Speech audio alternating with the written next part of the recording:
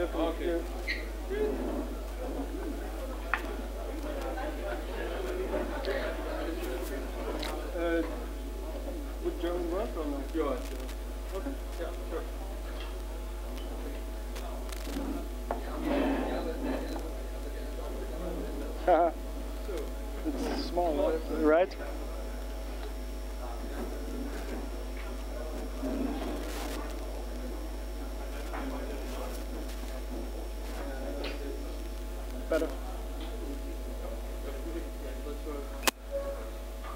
Okay.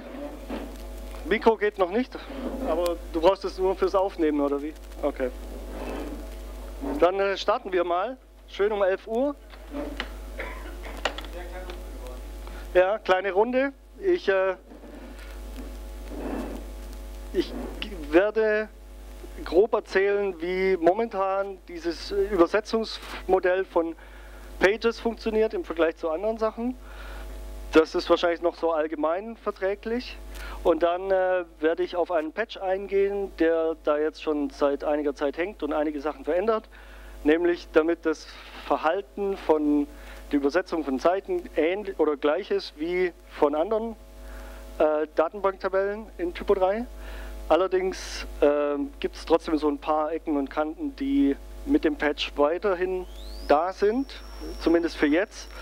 Äh, der Umfang des Patches ist eigentlich nur dafür da, dass wir mal die Datenbasis gleich haben. Und ich wurde gefragt, äh, das nochmal zu erklären, weil der etwas umfangreicher ist und man irgendwie 15 verschiedene Sachen beachten muss. Und das habe ich jetzt äh, gedacht, mache ich eine kleine Session dafür, um so ein bisschen in den Code zu gehen. Also ich erkläre jetzt nicht, wie Permissions funktionieren ähm, oder was, ähm, wie das Übersetzungsmodell normalerweise funktioniert, ähm, ja, sondern eigentlich steigt dann direkt mal ein. Wenn ihr Fragen habt, ey, immer her damit.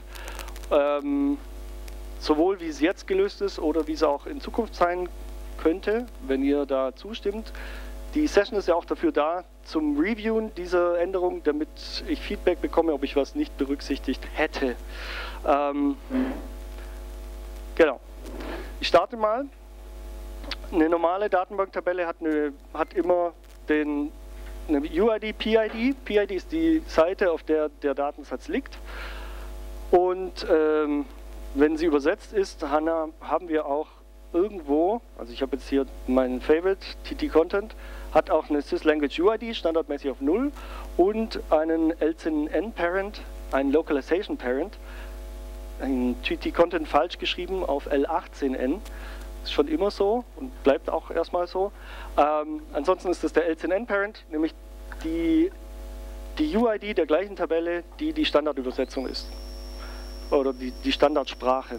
Das verwechsel ich ab und zu äh, im Reden, aber ja, die Standardsprache ist die 0 und alle, die Standardsprache 1, 2, 3, 4 haben.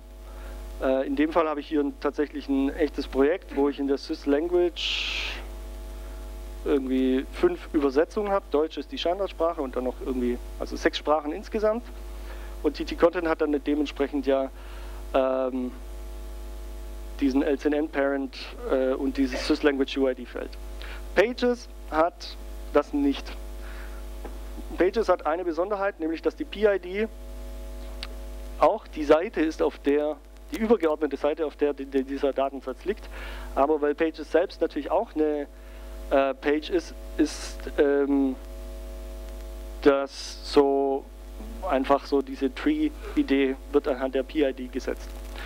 Pages hat keinen ähm, SysLanguage UID und keinen LZN-Parent. Und dafür gibt es aber die tolle Pages Language Overlay, die äh, ganz viele Felder nicht hat, die Pages hat, weil man sie vielleicht auch nicht braucht bei einer Übersetzung.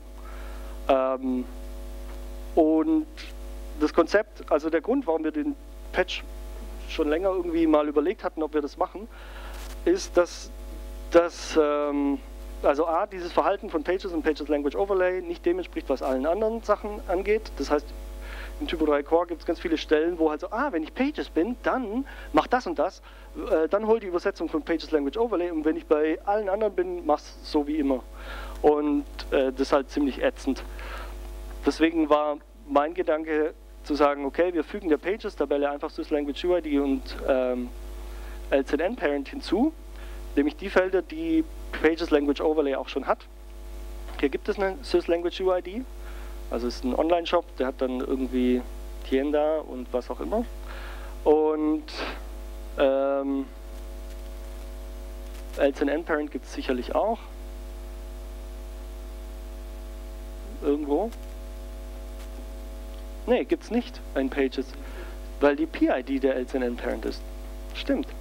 Habe ich gar nicht dran gedacht. Nein, also das heißt, die Übersetzung zu diesem Shop ist die Page ID 2, weil Pages Language Overlay kein LZN-Parent hat, sondern einfach immer die PID nimmt. Das ist ja die Seite, die ich übersetze. Und äh, dann habe ich eben gewisse Felder nicht, zum Beispiel das Cache-Feld. Ich kann also für eine äh, Übersetzung einer Seite nicht sagen, du wirst 10 Minuten gecached, aber für die russische Übersetzung äh, kann ich nicht sagen, die wird halt zwei Jahre gecached, weil die halt, da passiert halt nichts. Äh, solche Sachen kann ich gar nicht machen, ähm, so standardmäßig, obwohl Typo 3 das für alle anderen Tabellen könnte. Also wir haben in Pages ziemlich viele Felder, die vielleicht auch keinen Sinn ergeben bei einer Übersetzung, aber vielleicht auch der Wunsch da ist, dass man das macht. Also zum Beispiel Backend-Layout könnte ich halt für eine andere Sprache ein anderes Backend-Layout-Feld benutzen. Ähm, und dann gibt es aber Felder wie zum Beispiel diese Mount Points äh, Kram-Sache, die ist alles nur in Pages drin. No Search, diese ganze SEO-Sachen sind bisher standardmäßig auch nur in Pages, hoffe ich. Ja, aber halt natürlich Keywords muss übersetzt sein und deswegen gibt es die. Also das heißt, die Pages Language Overlay ist sehr dünn. Ähm, und so, was ich jetzt gemacht habe in dem Patch ist, jetzt wird es etwas technischer, ähm, ich habe der Pages-Tabelle einfach gesagt, äh, pass auf, du hast jetzt auch ein Language Field, Sys Language UID genannt, ein LCN Parent Field, so ein Div Source Field, wo halt die Änderungen da abgespeichert werden und so ein Source Field, was man halt so standardmäßig hat. Habe die definiert und dann habe ich in der Pages Tabelle zu allen Feldern, die Sinn ergeben, ähm, diesen LCN Mode Parameter hinzugefügt. Weiß jemand, was PHP Tree Stop macht? geile Sache, ist auch völlig unwichtig. Ähm, die willst du, das willst du nicht in der Übersetzung haben, also kommt Exclude. Das heißt, die Übersetzung hat nachher den gleichen Wert wie äh, die Standardsprache, aber sie kann nicht, ähm, wie sagt man, sie, du kannst das nicht in der Übersetzung ändern, das ist Exclude. Äh, Edit-Log auch, wenn ich halt sage, diese Seite darf man nicht bearbeiten, dann gilt das gleiche auch für alle anderen Sprachen. Dadurch haben wir dasselbe Verhalten wie bisher. Das heißt, ich erkläre jetzt eigentlich wenig, äh, was bisher gleich ist, sondern vielleicht gehe ich gleich mal auf die Dinge ein, die anders sind. Ähm, wir haben so einen tollen Upgrade-Wizard. Ich kann jetzt diesen Patch nehmen und einspielen. Dauert kurz, wenn das jetzt hier toll funktioniert. Ah, Habe ich schon gemacht. Perfekt. Oder? Nein.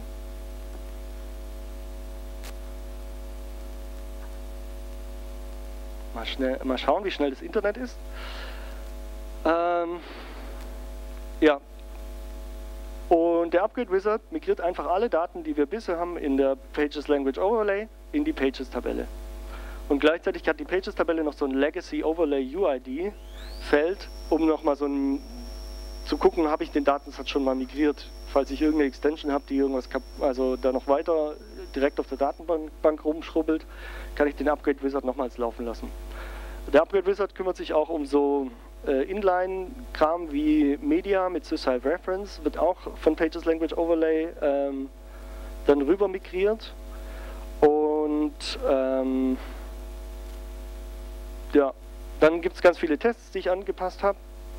Hauptsächlich, weil in den Tests solche Sachen drin sind wie, ey, ich erwarte, dass nachher in der Pages Language Overlay da ein Datensatz drin steckt. Das erwarte ich jetzt ja nicht mehr, also musste ich die Tests anpassen. Ähm, dann habe ich, jetzt, hab ich jetzt den Patch eingespielt. Ah ja, toll. Lösche ich mal die Caches. Ah, die Seite ist jetzt kaputt. Nee. Ähm, ich habe jetzt die Möglichkeit, ähm, hier eine neue Seite, eine Übersetzung anzulegen dieser Seite. Machen wir German. Translate to German, neue Seite. Ich habe jetzt tatsächlich auch so einen Switch, den es vorher nicht gab, weil wir alles standardmäßig machen. Und ähm, das Backend verhält sich fast genau gleich. Jetzt zu den technischen Implikationen. Dieser neue Datensatz, den ich gerade angelegt habe, den schauen wir uns jetzt mal in der, der Pages-Tabelle an.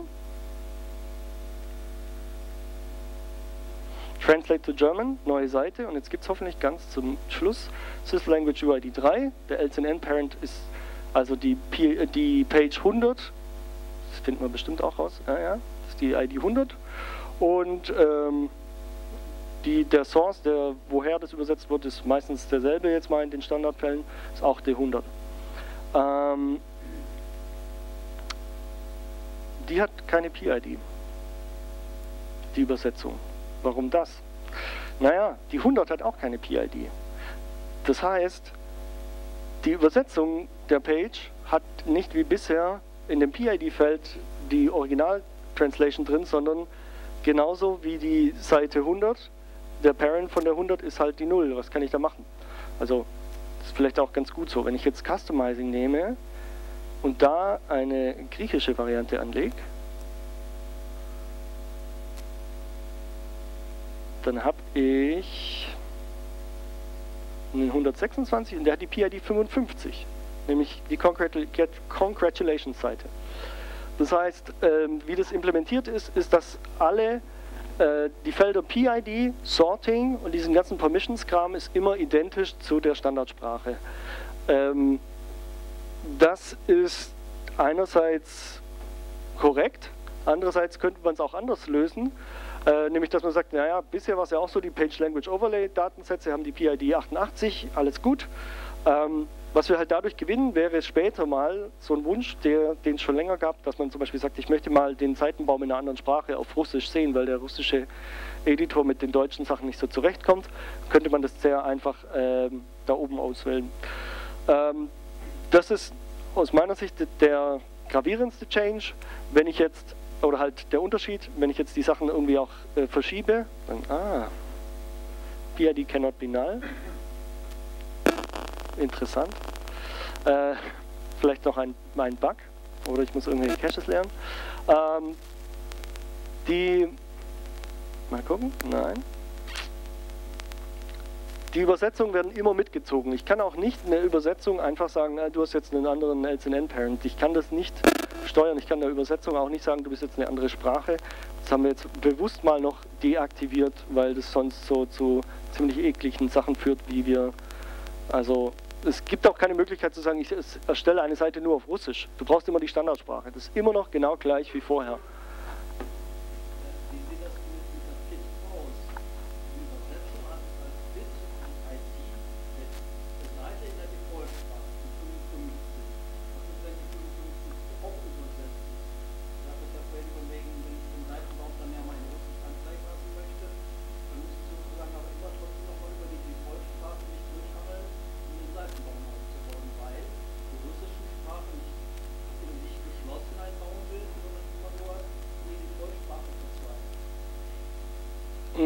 Ja, du hast die Möglichkeit, die, ähm, die russischen Seiten anzuzeigen durch das, die, die Sortierung und die Pits, wie sie in welcher Reihenfolge sie da sind. Und ähm, für die Baumstruktur, weil die Pit der Originalsprache ist, musst du es trotzdem machen. Sonst müsste ich ja immer, wenn ich die Customizing-Seite übersetze, müsste ich die Congratulations-Seite auch übersetzt haben, um da was anzulegen. Und den Fall ähm, oder diese Restriktion wollten wir jetzt nicht in der 8, äh, in der 9 auch so einführen, die es vorher nicht gab. Es gibt ja wahrscheinlich Use Cases, um das äh, zu machen. Also sagen wir mal so, diese, diese Idee mit dem Seitenbaum ist jetzt auf jeden Fall schon mal näher. Ähm, es gibt auch noch ein paar andere coole Sachen, die man damit machen könnte. Nämlich, ich habe jetzt hier eine Seite, wenn ich jetzt, ich gucke mal, ob mein Frontend funktioniert, kommt jetzt die 88L gleich 1 raus.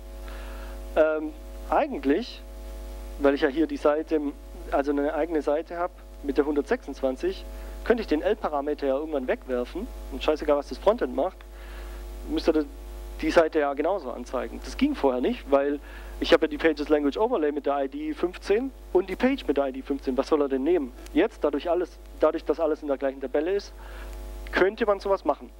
Ähm, momentan kommt trotzdem die 88 raus. Also wenn ich auf die Standardsprache oder beziehungsweise er löst diese 126 auch auf. Ähm, einfach nur, weil das wäre ja ein neues Feature, machen wir separat. Hier geht es nur um die Migration der Daten erstmal und dass das gleich im Backend ist.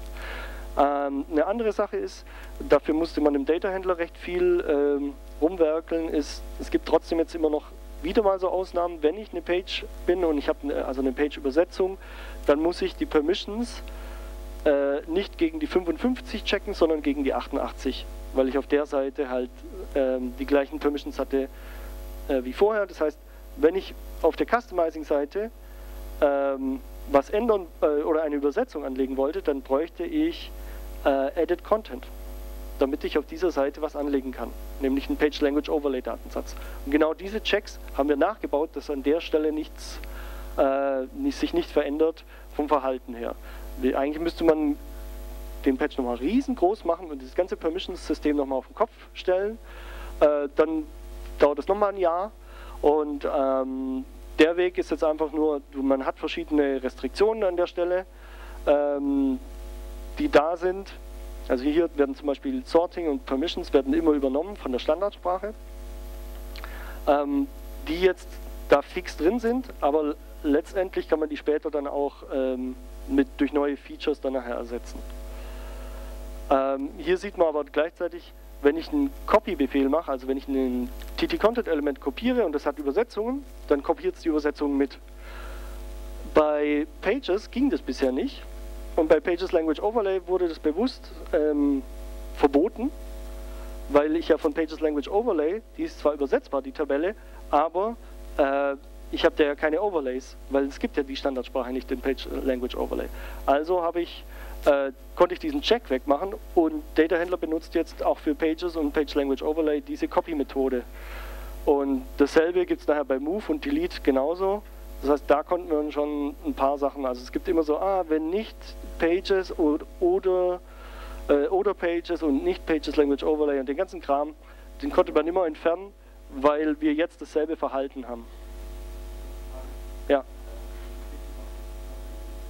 Die PIT bekommen, äh, genau, hatte ich noch nicht erwähnt, das ist auch ein gravierender, konzeptioneller Versuch von mir mal gewesen. Die PIT äh, hat immer die Standardsprache, auch die Null. Es gibt da auch einen guten Grund dafür, weil sonst müssen wir alle Datensätze migrieren, die wir, die es gibt. Also alle, alle, alle. Und das ist gar nicht so einfach, weil es gibt ja auch so Fälle wie, ich habe so eine Inline-Relation und zwar hat der Parent keine, also ist nicht übersetzbar, aber die Children sind übersetzbar oder umgedreht. Welche PIT hätten die nachher? Also es ist daher total der Hassel, das auszusortieren. Und ähm, das gesamte Frontend würde dann nicht mehr funktionieren, weil du PID, äh, PID in List zum Beispiel benutzt im, im Typoskript und da sagst du PID in List 88 und dann holt er sich ja je nachdem, was du hast, entweder die Standardsprache und macht die Overlays oder nur direkt die Zielsprache. Aber du hast immer die PID 88. Das heißt, du müsstest sonst in deinem Frontend überall die PIDs ändern, die du hart gecodet hast. Also wahrscheinlich 80% der Installationen, die ich so wie meinst du?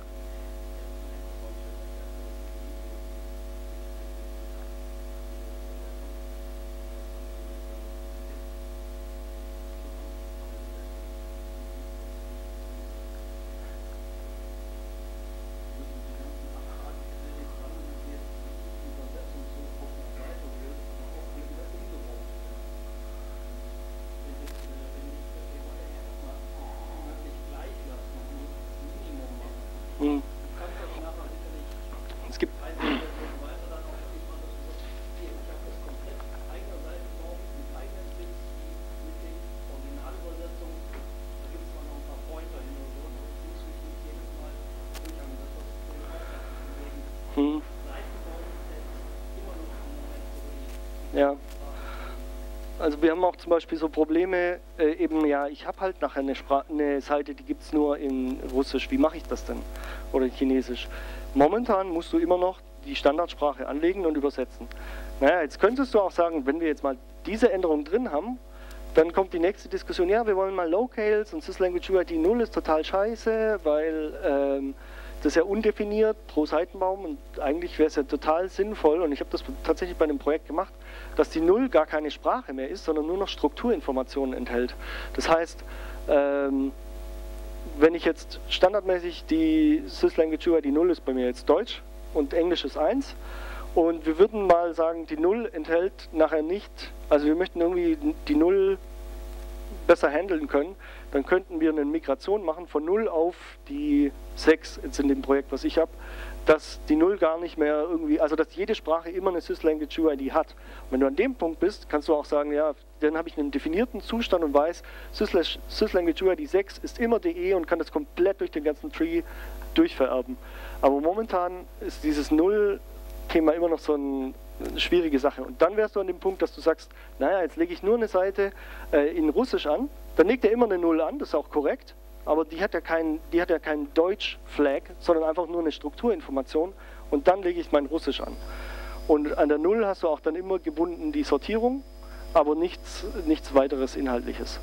Und dann kommst du auch mal einen Schritt näher zu sagen, wie mache ich diesen Tree, äh, weil der ist unabhängig von einer Standardsprache Deutsch, sondern halt von, einem, von einer Strukturinformation wäre sie halt abhängig.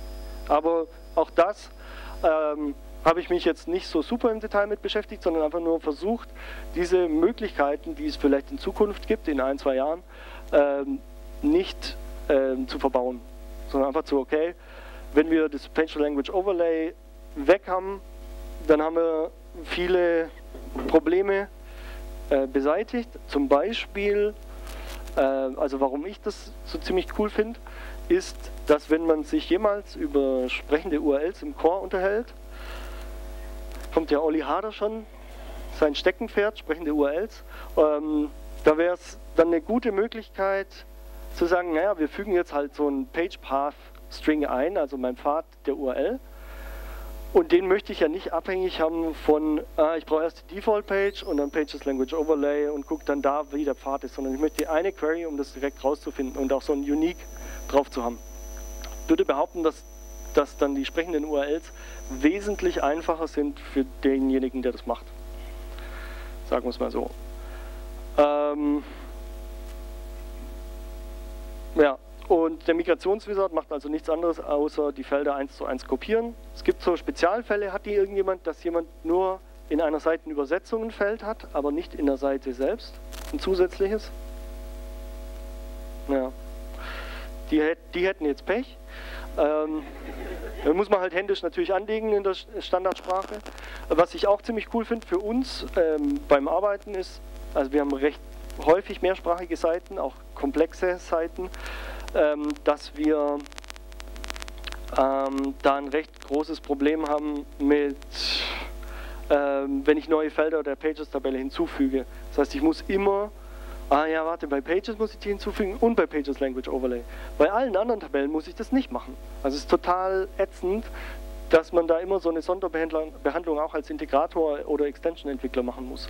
Das gleiche ist bei diesem ganzen Xbase-Geraffel ähm, oder jetzt schön im Frontend gibt es dieses Page Repository, was dafür zuständig ist.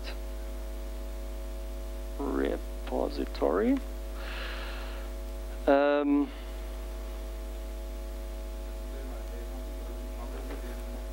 hell machen. Da gibt es doch bestimmt so einen Presentation Mode. Nicht besser? Ich mach mal hell.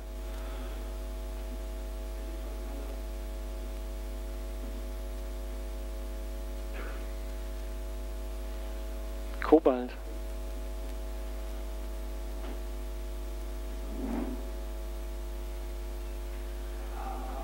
Ja?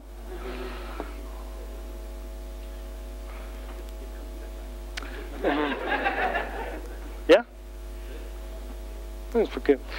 Ähm, Im Frontend zum Beispiel gibt es eigentlich ähm, Get Pages oder Get Page Overlay. Wenn ich standardmäßig, ah, Pages sind, verhalten sich ja anders, äh, dann habe ich da eine Methode und dann gibt es noch Get Record Overlay, der eben für alle anderen Tabellen das macht. Und ähm, vorher hat er natürlich dann eine Abfrage gemacht auf die Pages Language Overlay, wo die PID das ist und die SysLanguage UID die Sprache, die ich reinkippe.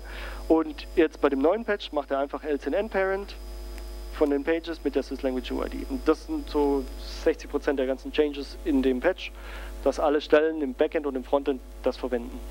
Ähm, konzeptionell ist es immer noch so, dass ich zum Beispiel im Backend dann die, äh, den Linkpicker auswähle, um auf eine Seite zu verlinken, dann wähle ich da trotzdem immer die 55 oder die 88, was es war, also die Standardsprache aus ähm, und nicht immer eine, direkt eine Übersetzung. Das ist auch alles noch genau gleich wie vorher, weil dann gibt es weniger, noch weniger Clashes zur, bei der Migration.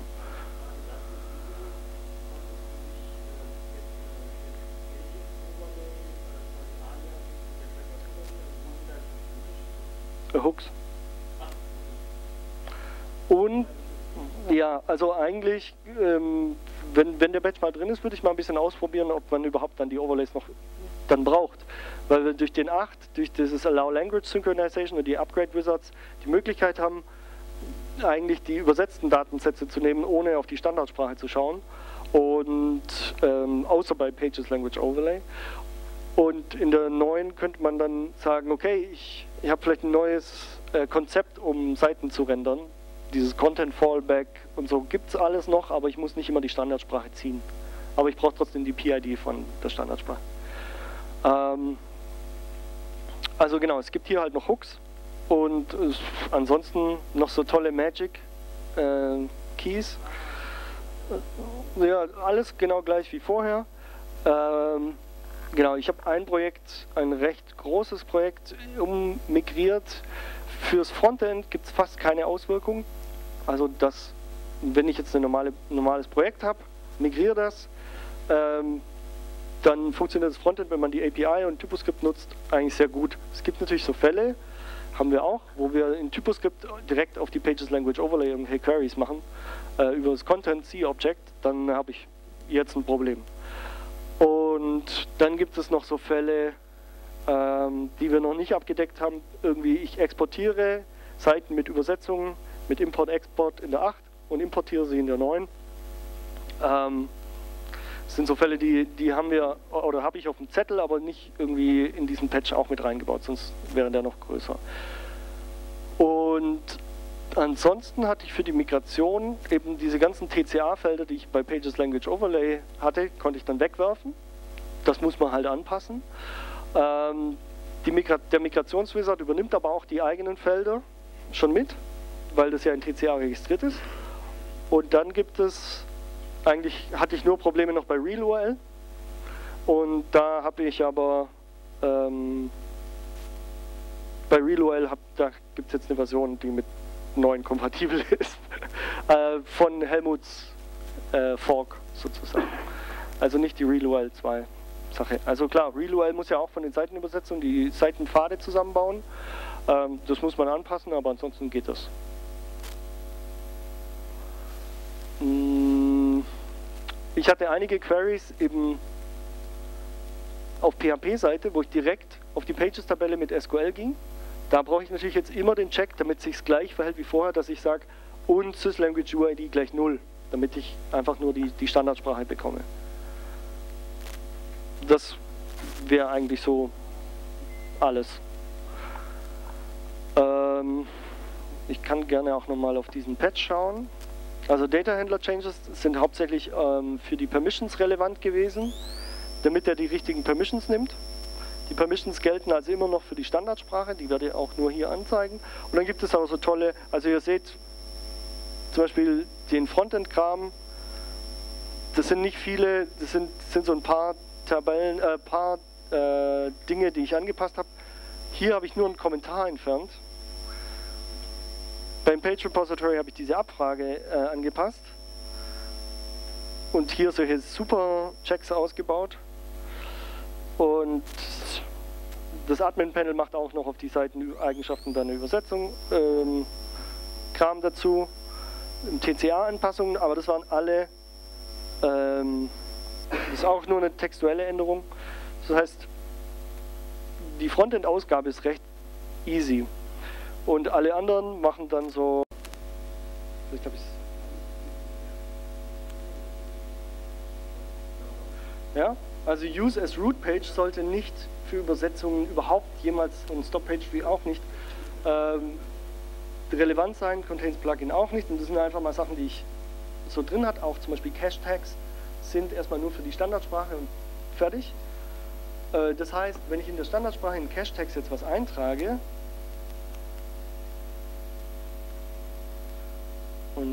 und jetzt äh, Blablub ist jetzt auch in der Übersetzung drin. Ja? Das heißt, der synchronisiert das immer durch. Äh, das ist Exclude. Localization Mode Exclude. Ich habe das Feld nur in der Standardsprache. In der Übersetzung habe ich es gar nicht verfügbar, aber der Wert steht auch drin. Und dann gab es noch dieses, mein Favorite war äh, Merge if not blank. Merge if not blank heißt, wenn ich in Link Target in der Übersetzung nichts drin stehen habe, dann nimm doch bitte das, was sie, und dann muss ich im Originaldatensatz und brauchte, guck, was da gerade drin steht. Je nachdem, wie man es betrachtet. Ja, genau. Ja. Und dieses Translation Behavior, das ist diese Funktionalität, die sich, oh, super, mein Core,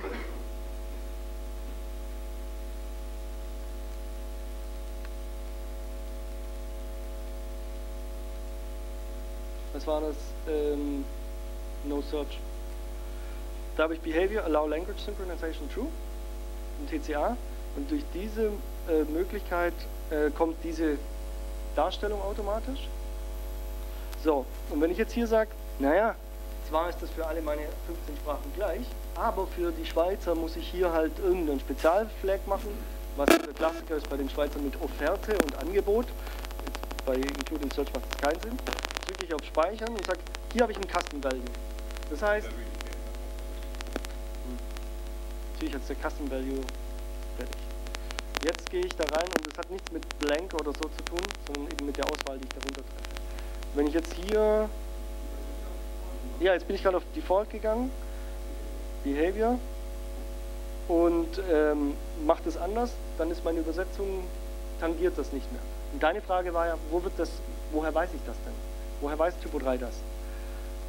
Und dafür gibt es ein Feld, das nennt sich LCNN State da steht ein Array drin. Ah, genau. Normalerweise steht da sowas drin. Wo drin steht, naja, der Feld No Search holt sich das vom Parent oder ist Custom. Und dadurch weiß er beim Synchronisieren, ob er es überschreiben soll oder nicht. Da gibt es noch Source und andere Sachen, aber ähm, der Einfachheit halber gibt es nur Parent und Custom bei Pages. Ähm, einfach weil wir sonst, glaube ich, nochmal ein weiteres Fass aufmachen würden.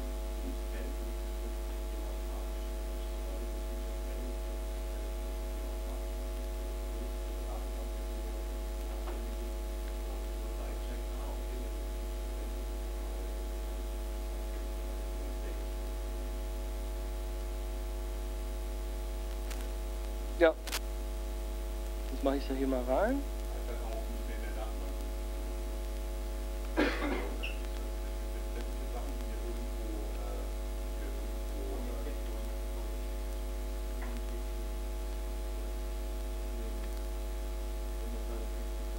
Ja, genau, moving a page.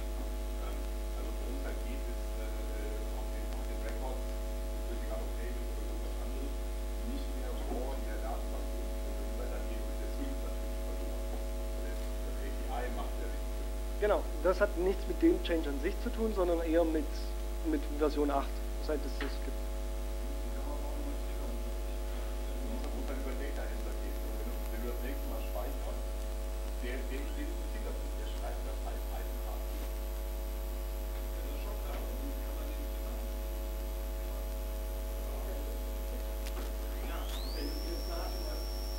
Ja, es gibt, ein, es gibt so ein, so ein Upgrade-Wizard, der das macht. Hätte gesagt. Ja. Okay, jetzt sind wir kurz vor zwölf. Ich habe alles erklärt, alles. Und der Patch ist dadurch halt super einfach für alle zu verstehen. Hier ähm, plus 1. Ich habe noch ein Minus 1 gegeben, aber tatsächlich sind es immer so, ah, guck mal, Pages und Pages Language Overlay nehme ich aus. ist Table localizable, Pages ist jetzt localizable, fertig. Das ist ziemlich cool.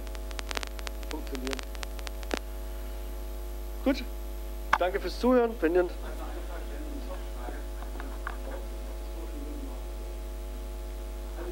Na, wir können jetzt Mathis schön die Geschichte erzählen.